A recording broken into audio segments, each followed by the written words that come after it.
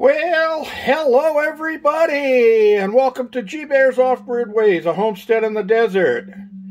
And yeah, we're looking at the uh, batteries right now. I've got them at 13.7 here inside the, uh, the cabin. This is my inside controls, so I can uh, take care of stuff without having to go out in the cold. So anyway, it was uh, never really made 60 degrees today, but it's been in the uh, upper 50s. And I still got a 14 mile an hour wind out there at 4.13 in the afternoon. No rain. Um, they said that we were going to get some. We didn't get any. So I did get some of my uh, starter uh, bins here put together. And the ones with the tags in them, I've already planted seeds. The others are going to get seeds here pretty soon. And then a couple of larger pots here for uh, a couple of tomato plants. And get those started and let them grow up. So anyway, let's move on outside. And while I'm doing that, instead of waiting until the end of this video, I'm going to do it right now. Uh, don't forget, everybody, that, that this year I'm letting everybody who wants to hit that subscribe button down there absolutely free. Yep, I'm allowing you to get onto my channel, subscribe to my channel, absolutely free. No tricks, no um, spamming, no extra emails, nothing like that. All you do is click the subscribe button and the little bell icon if you want to get notified when I post a new video. And that's it totally free. So don't waste any more time. Get it while it's free. and uh, and don't forget, give me a thumbs up down there when you see my videos and like them. So we're coming out here to the battery room. And uh, we're going to look at a few things out here. I need to get in here and when the weather breaks a little bit and clean all the battery uh, terminals and somebody gave me a great idea I've used uh, the spray terminal stuff that you spray on there doesn't seem to help much but uh, this individual said use that plastic dip um, rubberized stuff that you would get to dip your plier handles in and that stuff to coat the handles. Get some of that in a little paintbrush and clean the terminals off really well and then coat them with that rubberized stuff to keep it from spreading. So I'm going to give that a try and when I do I'll uh, of course video it so we can see how that goes. Let's see we got uh, not enough wind to do anything today but we're in the same zone. So let's see what we got here. Uh, 1353 volts max, watts peak. Know, that's funny is that uh, this thing is, uh, the watt hours are great, 4,556 watt hours. But uh, it's not um, recording the um, amps peak and the watts peak and that stuff. There's amps peak, and it says zero. And I know yesterday I was watching it take in 22 amps. So that's uh that's pretty weird that, that it's not recording those. Uh, that's what you get when you buy Chinese stuff, right? So anyway, as we can see here, 13.8, 13.8 and Renogy Rover and my MidNite Classic. They're both agreeing with the uh, the the amount of power that I've taken in. My uh, system here is on float because I really don't need any more input power with everything uh, totally maxed out. And I'm bringing in 105.4 volts or 105.6 volts and uh, that's about right if I'm not mistaken. Um, that's my my big panels. So anyway, that's uh, that's my system. So two, four, six, eight, 16, 17, 18 of the US 2200 um, golf cart batteries. Those are deep cycle batteries, lead acid.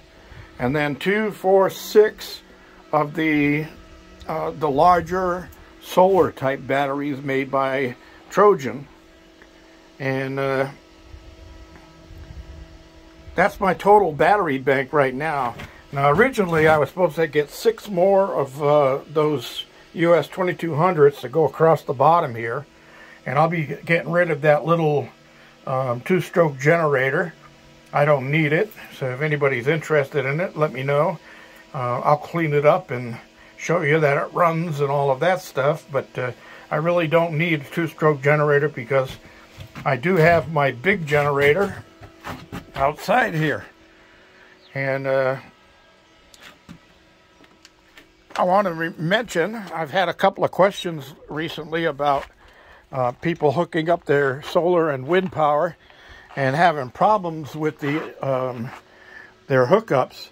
Uh, it's very important. Controllers, those those are old controllers. Those are Harbor Freight controllers, and then my other controllers are over here. All controllers, I don't care what they are. All controllers, uh, MPPT controllers, uh, PWM controllers. I don't care uh, what controller you have. And I don't care if it's for uh, solar or for wind power or for hydropower or any of that. You have to. It is a must to hook up your batteries to the controller first and then hook up your input second. that's, it doesn't matter if you're 12 volts, 24 volts, 48 volts, or 96 volts.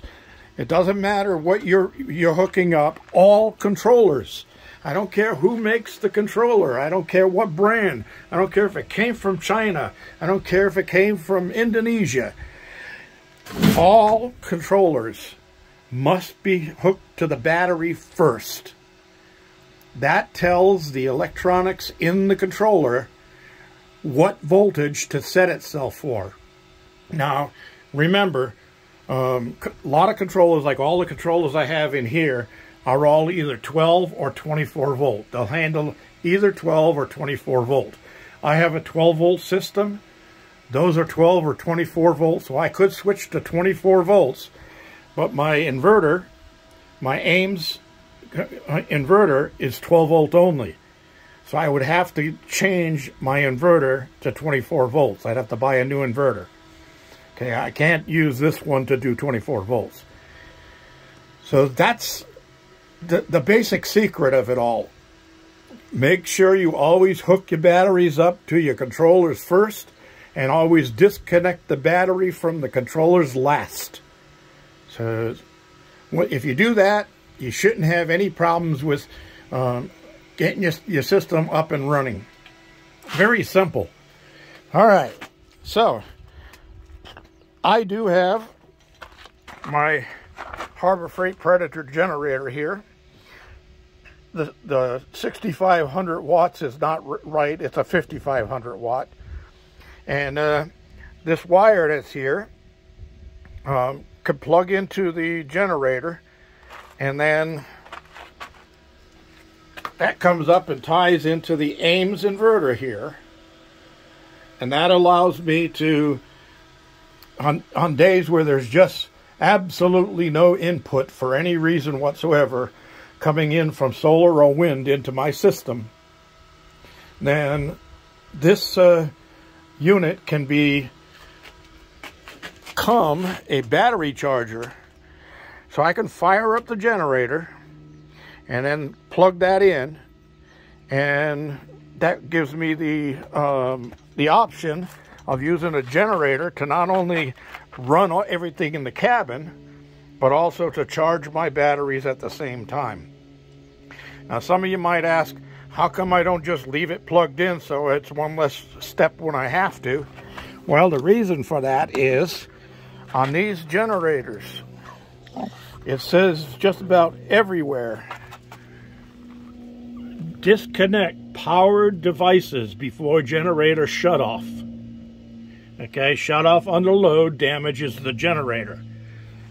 So if I plug that in and I had had to start it up with the the power plugged into it, I could damage the generator.